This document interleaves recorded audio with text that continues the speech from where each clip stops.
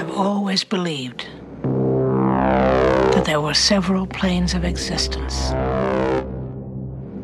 And we as human beings inhabit only one. What happened to you guys last night anyway? I was attacked. Is this the first time something like this has ever happened? No. Things have come to me. In the night. Why do I see and feel these things? Some things are more terrible than other things. And he felt like a man?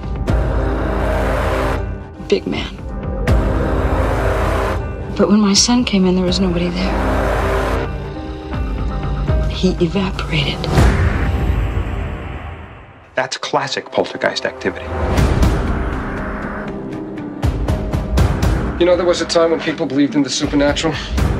These ghosts and demons were only ideas, but people saw them. You think I'm insane?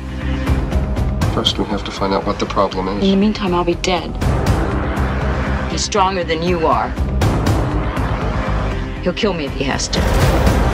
Isn't it possible that some entity has crossed into our plane of existence? There was somebody there.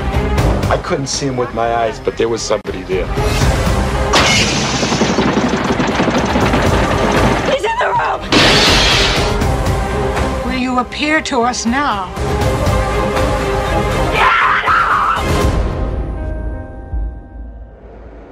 It's my decision What, to stay sick? to stay alive.